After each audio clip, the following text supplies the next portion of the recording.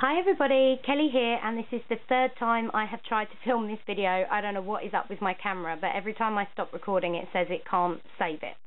So let's hope this one works. So what you are looking at is actually the back of my project and this is an altered, um, I don't know whether you'd call it a bucket or a pail. Um, we'll go with bucket for the sake of um, this video.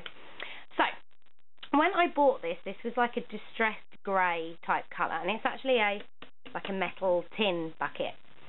Um, so the first thing I did was I covered it in two coats of gesso, quite a thick gesso to get the white colour that I was after.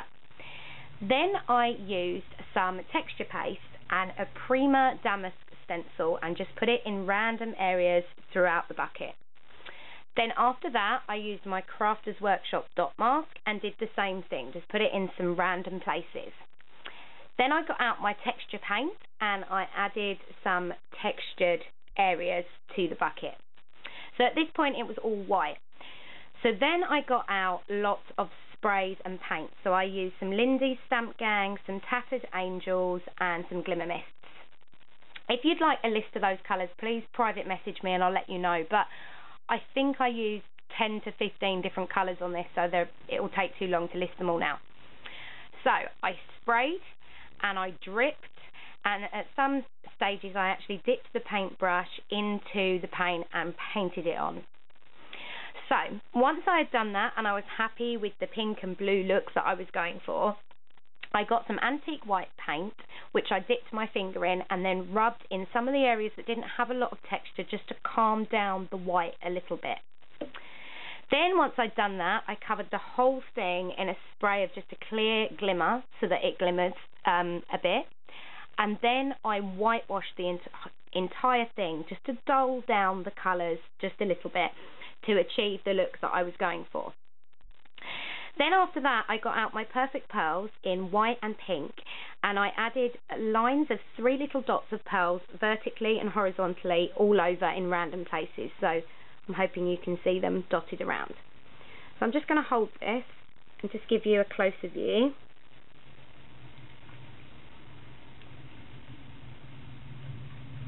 So I'm hoping that the camera is picking that all up for you guys. As we all know, the camera never does as much justice as seeing something in person, but, you know. Then I added this trim around the top, and over the top of that I added these very tiny flat back pearls. Then all the way around the bottom I added this really dainty heart trim, which I just thought was really cute. I used that same trim to make the bows on the handles on both sides. And there we go. And then on the top of the handles, I used some pink flat back pearls just to give it something a bit extra to look at.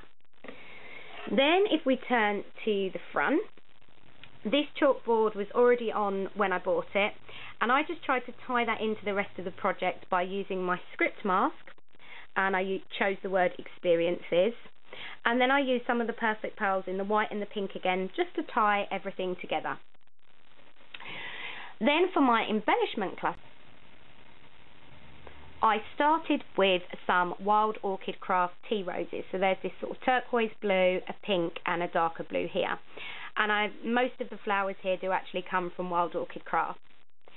Then this wood piece here is a wood piece from Recollections, which I used my Ingvild Bolme chalk edges on, first in white, then in pale blue, and then in turquoise, and just smudged it a bit so that I didn't have too much colour, but just a hint of colour.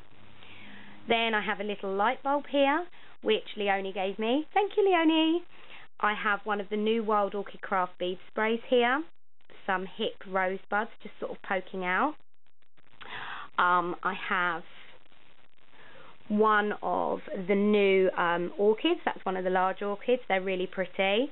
There's another bead spray in the pink down here, which I actually got from my local um, craft shop. This heart is a Wendy Vecchi heart, which I painted white and then textured over the top of. Um, there is a fabric flower here, which just came from my stash. Then there's this metal heart, which I added a bead to the middle of. Then there is another of these wooden um, recollections leaves down here. There's this pearl spray, which I got from Craft Supplies 1. there is this absolutely gorgeous button here, which I believe I got from Sarah. Thank you, Sarah. And if it wasn't Sarah, then it was Pat. So if it wasn't you, Sarah, apologies and thank you, Pat. Then I added this trim down here, which actually came off a large doily, and I just sprayed a little bit with one of the pink Lindy's just to make it match. And I really like how that came out. Oh, sorry, you can hear that. That's my daughter, but my other daughter's gone to sort her out. So, yeah, so there we go. So, the idea of the blue and pink colour scheme here was that I had someone in mind when I made this, and I am waiting for that person to get back to me, so I'll leave it at that. But I did distress all the flowers with um, some texture paint just to dull them all down and stop them from being so bright. So I hope you like it, guys. If you have any questions, um, either let me know below or send me a personal message. And I hope you're all having a fabulous weekend. Bye.